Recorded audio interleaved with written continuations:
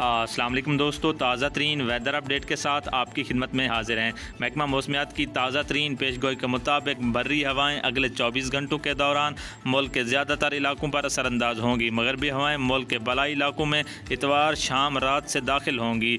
मज़ीद तफसीत में जाने से काबिल हमारी आपसे दरख्वास्त है, अगर आप पहली मरतबा हमारे चैनल पर आ रहे हैं तो जल्दी से चैनल को सब्सक्राइब कर दें, वीडियो को लाइक करके नोटिफिकेशन बेल आल पर क्लिक कर दें, ताकि आप ताज़ा तरीन वेदर अपडेट से आगाह रह सकें।